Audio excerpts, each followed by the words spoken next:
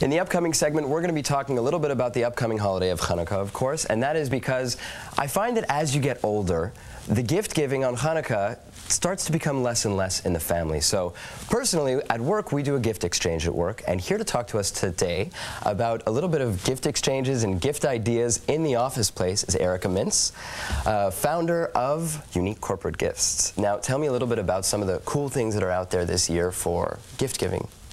Well, typical to our industry, from what we have found, has been very hot mm -hmm. in the premium and incentive and promotional industry. I brought uh, just a few ideas. There's obviously lots of stuff to give, depending on the company you're working with or the recipient of the gifts. But I brought some stuff today that okay. I thought I'd show you. Sure. Um, something actually that is a huge trend this year, and I think you can just tell. I know by, what it is just by looking at it. Just by watching TV. Um, poker is, huge. you know, been a huge trend of the year. Celebrity poker, it's on TV all the time. So that was reflected in our industry. And so poker sets are huge, mm -hmm. and we've got small sets, large sets. This is something around uh, $80. Okay. They're not cheap. No, they're and, not. But they're very useful, and we put the logo, of course, on the top on a nice plate. So Unique Corporate Gifts condones gambling in the workplace. I'm kidding, I'm kidding, I'm kidding. Tell me about the other stuff if you, you want to gamble, we can help yeah, feed the exactly. habit. so that's a cool gift for this year for the holidays. Yeah. You have two other boxes on the table. Tell me a little bit about what it is,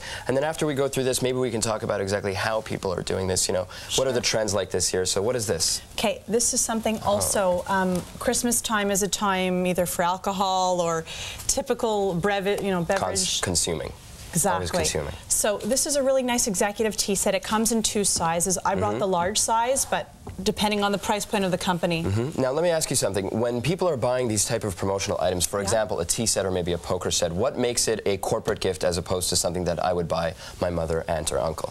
Okay, well that has been the trend actually. When when we started six years ago, people were giving the typical fridge magnet mm -hmm. or mm-hmm. mouse pad or baseball cap, and what I have seen is the shift has been really, if you're receiving a Christmas gift from one of your colleagues or co-workers, you really want it something to be not just a mug for the office or something like that. You really want it to be something that reflects the holiday season and something that they bring home. Okay. So our Christmas gifts tend to be less promotional and more Usable. gift, yeah, more gift oriented for the home, mm -hmm. um, more of a keepsake item, which is why you're getting these executive sort of mahogany boxes and things that are nicer. So gone are the days of logo imprinted pens, pencils, and floor, floor uh, fridge magnets, like gone they're not for trade shows, okay. but gone they are for this Hanukkah season and, and for this Christmas season for gifts at this time of year. Okay. Yeah.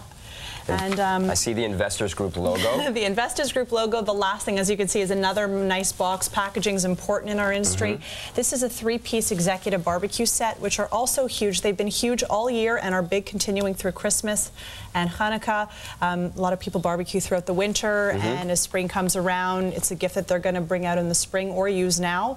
Not a gift you'd buy yourself, but a gift that would be great to receive. So they're very well received, and we've done great with them. They've when people when people are coming to you for gift ideas, is yeah. there a different approach that you use when it comes to, let's say, buying for a boss or buying for a secretary or perhaps a coworker or a subordinate? Like, is there a different approach to each category? Absolutely, and there is what we call a gift giving etiquette. Okay. And so, absolutely, if you're giving something to your hardworking secretary, you may want to do a spa basket. If you, mm -hmm. you know, mm-hmm. she's been overworked. If you're giving something to a VP of a company who's celebrating maybe a 25th anniversary with the company, perhaps a wine decanter, a Waterford crystal wine decanter, or a nice leather weekend bag mm -hmm. um, would be more applicable. So we would have to know who's receiving the gift, and okay. we obviously come in almost as a consultant and help the company pick the best gift for the recipient, be it so, a large crowd or one person. You sound, uh, you definitely sound like an expert in the field. None to say that's why that she's in the studio. But how did you get into this? How did you start doing this? I've read articles and in Montreal Magazine from Federation CJA yeah. about you and about your background, but share with the viewers a little, you know, how did you get into this?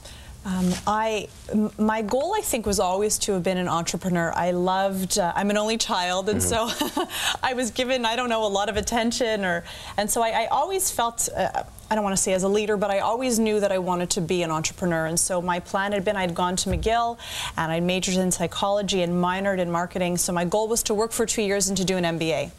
So I had a great job for two years. My next step became MBA. I didn't get into the school of my choice.